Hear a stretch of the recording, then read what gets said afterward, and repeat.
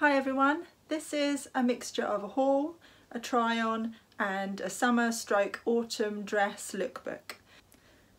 So I've got eight dresses here that I've recently thrifted. I'm going to show you what they are, what they look like and then tell you how much I paid for them and how much I'm hoping to get for them. So first up is a dress by Louche, that's the label. Um, it's got a really pretty kind of cut out floral pattern in it. It's a really nice retro design, like a 1960s style mini dress.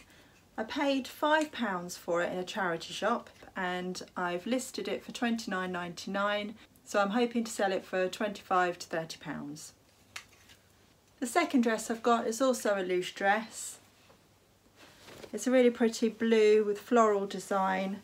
I've described it as a sheath dress because it kind of comes in at the bottom and I've also put the keywords tea dress in that. Um, again I paid £5 for this in a charity shop and I've listed it for $29.99. Next is an Odd Molly dress. This is probably a bit more autumnal than summer, but it is quite lightweight and it's floaty and I think that it, it'll be perfect for summer, for the cooler summer days as well. I really love Odd Molly. They are very folk in their style, kind of prairie or peasant dress. So those are keywords that I've used and Again, this was a charity shop find. I paid £4 for it and I've listed it for $29.99. So again, I'm hoping to get 25 to 30 pounds on it. So next up is a dress from Oasis. This is something um, that I've actually had around for a while. Um, I think I picked it up at a boot sale some time ago, but it was in my backlog. Um, I wouldn't have paid any more than a pound for it. It's a black shift dress with um, like an oriental botanical design on it. Um, it's got really nice pie crust sleeves with like a plissé detail here.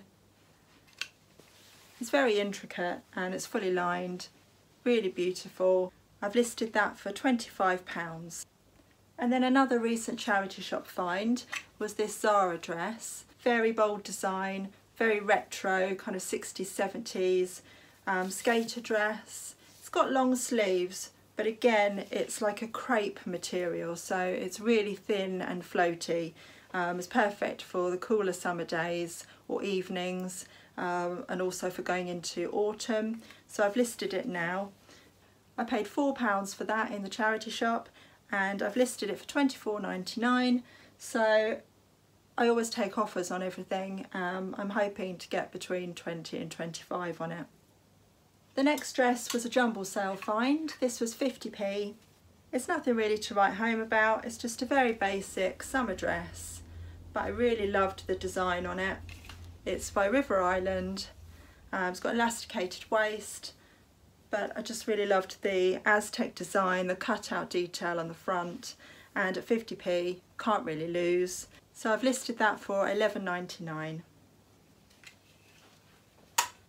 And then another jumble sale pickup is this really colourful and pretty maxi dress. It's by TU at Sainsbury's, but the design is just stunning. Some very on trend at the moment with the print clash and the patchwork design. I paid just 50p for that and I've listed it for 14.99 I've recently sold another maxi dress by TU, uh, very similar to this, and it went quite quickly for $14.99. So I've got quite big hopes for that as well. And then last but not least, I found this in a charity shop. It is vintage 90s. It's New Look and it's still new with its tag. Originally it was $34.99 um, it was reduced in their sale at that point. Um, it was a size 16 so vintage sizes tend to come up a lot smaller so I'd say it was more a 12, 12 stroke 14. Um, I've listed it as a 12. It's really sparkly, very very pretty.